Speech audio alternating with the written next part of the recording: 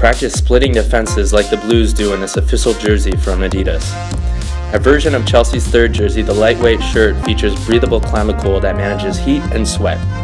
Strategically placed mesh ventilation panels maximize air circulation.